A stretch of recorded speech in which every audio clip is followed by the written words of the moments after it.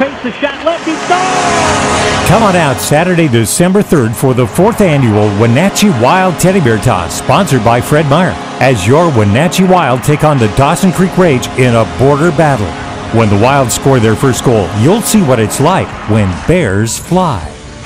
Last year, the Wild donated over 2,000 bears and toys to local charities. Come support those in need during this holiday time. The puck drops Saturday at 7.05 at the Town Toyota Center.